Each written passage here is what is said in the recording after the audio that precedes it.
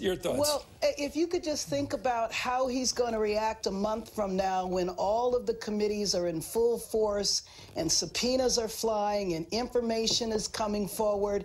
If we see a tweet storm like this and basically nothing is happening, you can only imagine how unstable he's going to be when we're at it full force. It's really sad, it's embarrassing, and it's actually just painful, especially his comments in front of the Brazilian president, because you yes. know then all of Brazil will have heard this and will look at our president and say, oh my gosh.